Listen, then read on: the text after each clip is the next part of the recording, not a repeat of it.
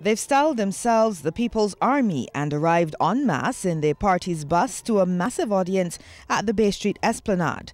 After a brief entertainment package, the Democratic Labour Party's candidates got down to the business of giving an account of their stewardship over the last 10 years.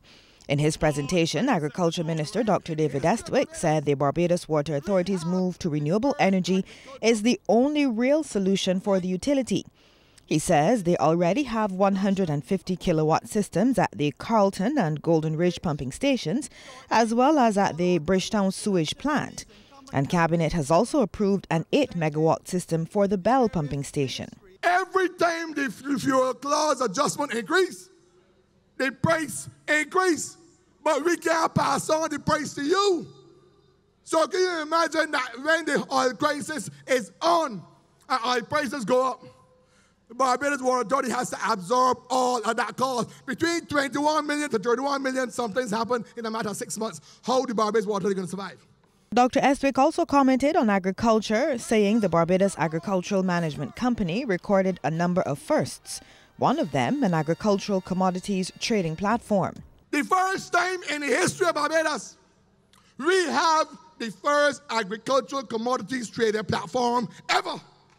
That simply means, for the first time, any farmer in Barbados can go up on the internet and put up what he has for sale, how much, and everybody who want to buy it can look and say, I want to buy it. Whether you're a manufacturer, whether you're a hotel, whether you're a supermarket, whether you are mommy and daddy.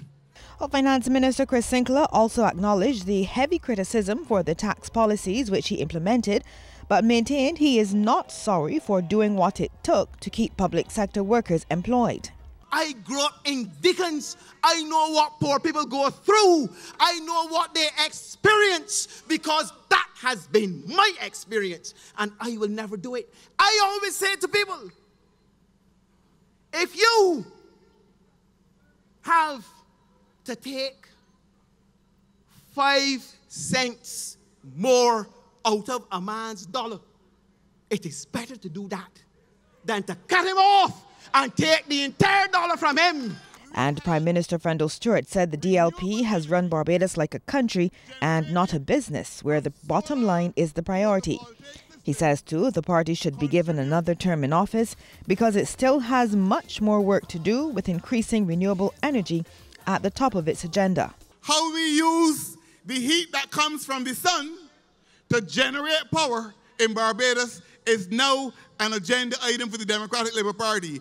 And never before, never before have we had renewable energy generated from solar photovoltaic systems contribute 25 megawatts of power to the national grid.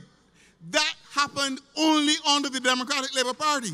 The DLP's meetings continue tonight with four in various parts of the island. Lisa Broom, CBC News.